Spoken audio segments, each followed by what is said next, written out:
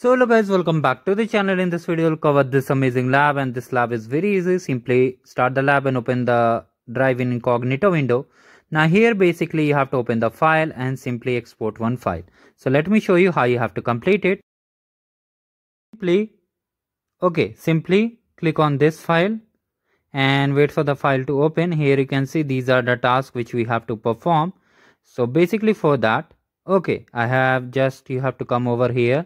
And simply first of all remove this unwanted pop-up. Now in the description box i've shared this file. You have to just come over here and download it to your local system.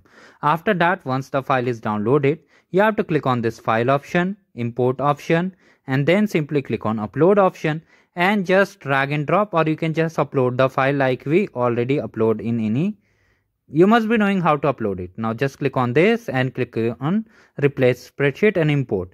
Now once the sheet is imported just check the score. And if you want to enable the check my progress you can check the description. And that's how we completed the lab guys